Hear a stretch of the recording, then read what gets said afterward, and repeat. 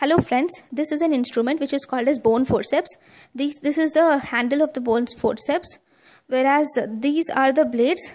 At the, with the tip of these blades we can hold the bone and here there is a lock. So this is a self-retaining bone forceps. It is used to hold the bone. Thank you for watching my lecture.